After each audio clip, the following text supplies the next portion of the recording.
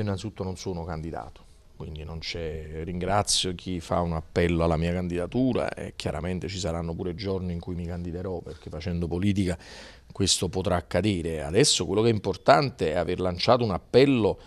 per unire esperienze differenti che però si riconoscono in valori comuni. Quindi il primo dicembre credo che sarà un giorno in cui si incontreranno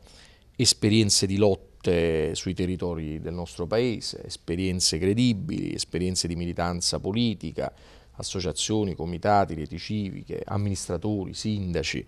per vedere se ci sono le condizioni dal 2 dicembre per mettere insieme un metodo per rafforzare il progetto politico che è quello di un campo largo, una coalizione civica vasta e se questo accadrà, poi è chiaro che una delle prime domande eh, che non solo voi ci farete, ma anche noi ci faremo guardandoci negli occhi, è se ci sono le condizioni insieme, uniti, per fare una lista elettorale per l'europeo. Quindi il primo dicembre non arriverà un colpo d'effetto da parte sua, un annuncio? Vieni il primo dicembre vediamo.